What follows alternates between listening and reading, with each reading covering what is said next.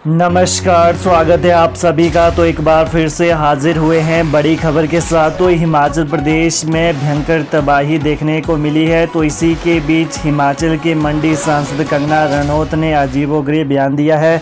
क्या खबर रहने वाली है आपके समक्ष? ज़रूर साझा करेंगे। तो आगे बढ़ने से पहले हिमाचल प्रदेश की ताज़ा खबरों को जानने के लिए कृपया चैनल को अभी सब्सक्राइब करें। तो मंडी सांसद कंगना बोली, हिमाचल न आने की सलाह मिली। सोशल मीडिया पर लोग बोले, आपदा का पैसा ही दिलवा दो विक्रमादित्य का चंबा दौरा रद्द। मंडी सांसद कंगना रनौत ने हिमाचल प्रदेश में आई आपदा पर अजीब व गरीब बयान दिया है।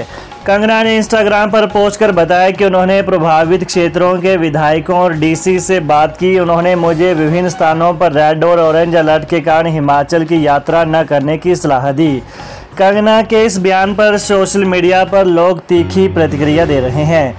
मंडी संसदीय क्षेत्र के निवासी अशोक नेगी ने लिखा है कि सांसद कंगना जी, आप जनता की सांसद हैं।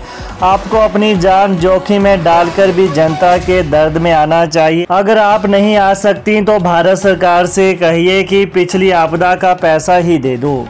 दूसरी ओर तीन दिवसीय चंबा दौरे पर गए लोक निर्माण मंत्री विक्रमादित्य सिंह ने अपना कार्यक्रम रद्द कर दिया है। विक्रमादित्य दौरा रद्द कर कल शाम चंबा से शिमला लौट आए हैं।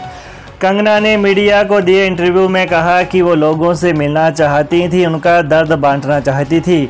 हमें बताया गया कि हालात ठीक नहीं है और बादल फटने की घटनाएँ हो सकती हैं, इसलिए उन्होंने पर्यटकों से भी हिमाचल न आने का अनुरोध किया है। तो ये रही बड़ी खबर कि हिमाचल की मंडी सांसद कंगना रनौत ने हिमाचल प्रदेश में आपदा पर अजीब व गरीब बयान दिया है, जिसके कारण सोशल मीडिया पर इनकी खूब किरकिरी हो रही है। तो अभी के लिए यह रही बड़ी खबर तो प्रदेश की ताज़ा खबरों को जानने के लिए कृपया चैनल को अभी सब्सक्राइब करें।